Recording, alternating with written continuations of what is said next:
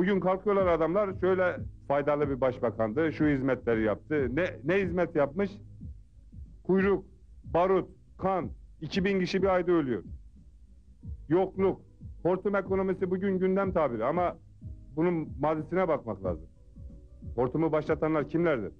Üçüncü Ecevit hükümetinde 11 bağımsız alıp bakan yapmak hangi siyasi ahlak içerisinde yerini almıştır?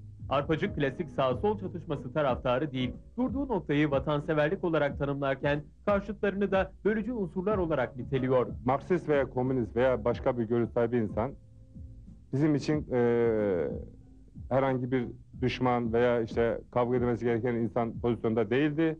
Sovyet yayılmacına karşı biz mücadele ettik. Arpacık'ın şimdiki hedefi ise Kerkük'te Türkmenler üzerinde oynanan oyunlara son vermek. Bugün de Kerkük'te kardeşlerimizin yanındayız. Kerkük'ten yeni geldim ben.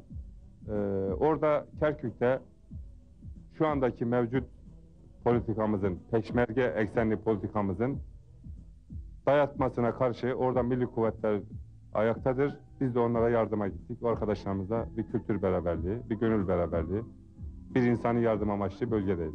Dönemin sorumlusu olarak gösterdiği ve geçtiğimiz gün aktif siyasete nokta koyan eski başbakanlardan Bülent Ecevit hakkındaki iddialarına kitabında geniş yer veren Arpacık yine de eski rakibine insafsız davranmaktan kaçınıyor. Belki de yılların verdiği yorgunlukta. Ecevit'in zarar görmesini de isteyecek durumda değiliz. Zaten kendisi de bu yaptıklarından büyük ihtimalle pişmanlık duymuş ki son dönemde bizimle ittifaka girdi.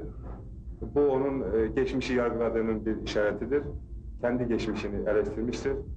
Burada insanları e, mahkemeye vererek, süründürerek intikam almak gibi bir düşüncemiz yok. Fakat tarih açısından e, bu gerçeklerin bilinmesi gerekir.